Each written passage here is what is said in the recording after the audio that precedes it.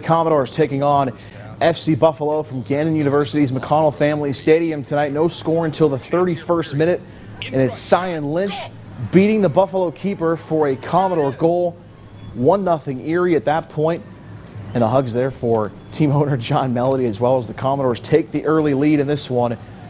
But it's Erie. Despite striking first, they play to a 1-1 draw on the pitch at home tonight with FC Buffalo. Cyan Lynch, the lone goal for the Commodores in the 31st.